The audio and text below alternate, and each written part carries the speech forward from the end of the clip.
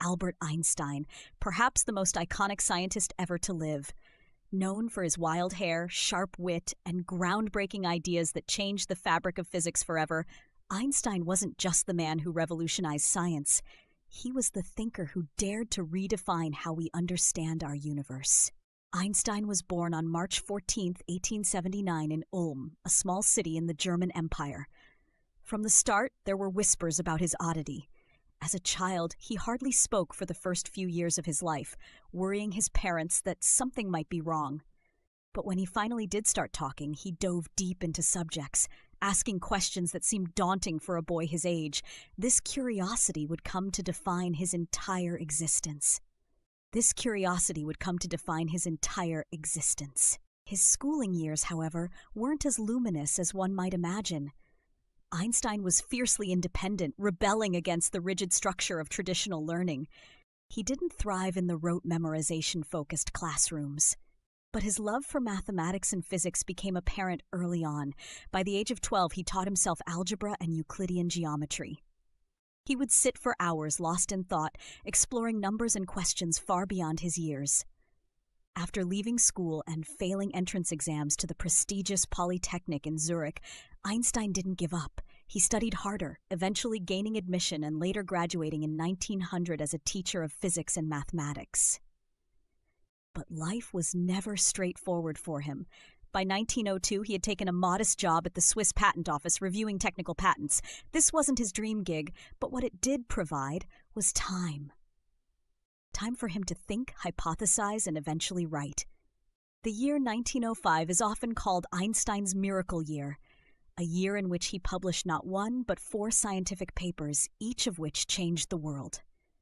At the center of this revolution was his theory of special relativity, introducing the equation we've all seen echoed in textbooks, movies, and memes alike E equals mc square, energy equals mass times the speed of light squared.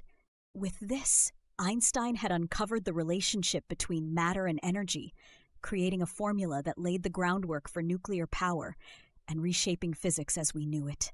But the man wasn't just a single moment of insight. Over the years, Einstein expanded his work to general relativity, a more complex theory that explained how gravity worked. His concept that massive objects distort the space around them was later proven through experiments by observing light bending around stars. The implications? Everything from understanding black holes to predicting cosmic phenomena came from his vision. His work continues to ripple through science and culture, challenging us to explore and imagine the universe's endless potential. Einstein wasn't just a scientist, he was a thinker, a philosopher, and someone deeply concerned about humanity. As his fame grew, so did his voice in social matters. He moved to the United States in the 1930s, fleeing the rise of Nazism in Germany, a regime that would label his theories as Jewish science out of hatred and prejudice. Settling in Princeton, New Jersey, he continued his work at the Institute for Advanced Study, but his focus shifted. Einstein began advocating for peace, freedom, and global unity. One of his most controversial moments came in 1939 when he co signed a letter to President Franklin D. Roosevelt warning that Nazi Germany might develop atomic weapons. While this letter helped accelerate the USS Manhattan Project, Einstein later regretted having indirectly contributed to the creation of weapons of mass destruction. He spent much of his later years promoting disarmament and condemning war. As a person, Einstein was quirky and humble. He often strolled the streets without socks, playing his beloved violin and scribbling thoughts on scraps of paper when inspiration struck. He had a knack for humor, once famously remarking, The difference between genius and stupidity is that genius has its limits. On April 18, 1955, Einstein passed away in Princeton at the age of 76. In his final moments, he declined surgery, saying, I want to go when I want to.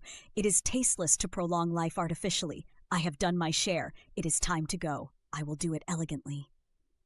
But his story doesn't end there. Einstein left behind ideas that continue to ripple through science and culture.